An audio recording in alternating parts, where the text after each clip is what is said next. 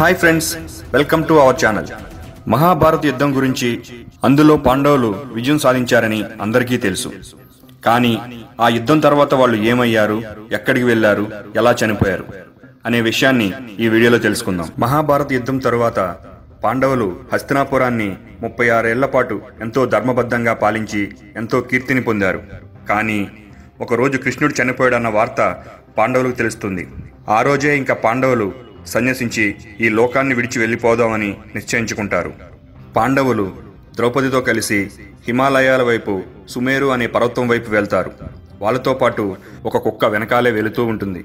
అలా వెళుతూ ఉండగా దారిలో సముద్రంలో మునిగిపోతున్న ద్వారకను చూసి ఎంతో బాధపడతారు. అలా కొంత దూరం ప్రయాణించగా మొదటగా ద్రౌపది చనిపోతుంది. ద్రౌపది ఎందుకు చనిపోయిందని భీముడు ధర్మరాజును అడగగా దానికి ధర్మరాజు ద్రౌపది ఐదుగురిని సమానంగా చూస్తానని చెప్పి అర్జునుడి మీద ఎక్కువ ప్రేమ చూపించేది. అందుకే కర్మానుసారం చనిపోయింది అని చెప్తాడు.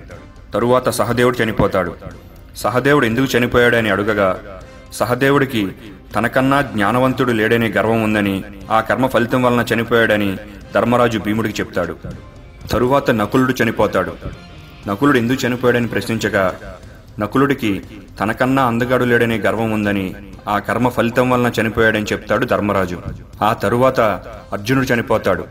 అర్జునుడు ఎందుకు చనిపోయాడని ప్రశ్నించగా అర్జునుడికి ధనుర్విద్యలో తనకన్నా గొప్ప యోధులను చూస్తే అసూయ చెందేవాడు.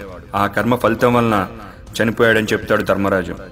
తరువాత అలా వెళ్తూ ఉండగా భీముడు చనిపోతూ తాను ఎందుకు చనిపోతున్నానని అడుగుతాడు.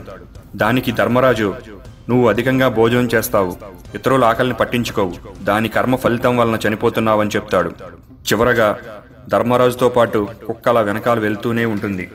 అలా వెళ్తూ ఉండగా మార్గ మధ్యలో ఇంద్రుడు తన రథంతో వచ్చి స్వర్గలోకానికి ఆ కుక్కని వదిలేసి రమ్మంటాడు. దానికి ధర్మరాజు అంగీకరించడు.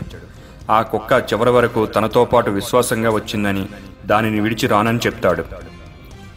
అప్పుడు కుక్క రూపంలో ఉన్న యముడు నిజస్వరూపంలోకి వచ్చి ఇది తనకు పెట్టిన పరీక్ష అని చెప్తాడు.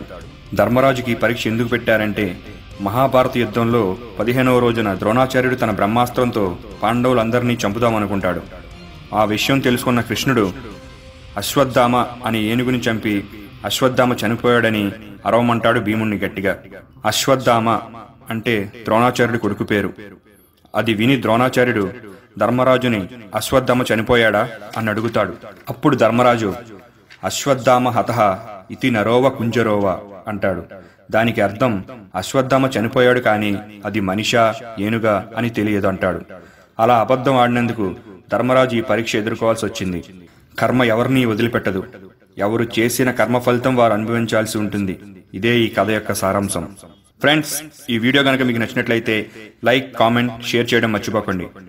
Please subscribe to our channel మా లేటెస్ట్ వీడియోస్ నోటిఫికేషన్స్ రూపంలో రావడానికి క్రింద ఉన్న బెల్ ఐకాన్ క్లిక్ చేయడం మర్చిపోకండి.